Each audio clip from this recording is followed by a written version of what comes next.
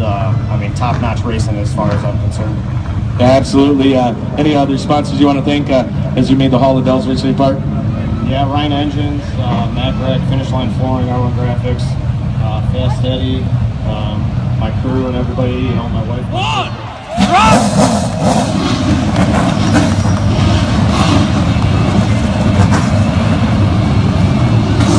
One, run!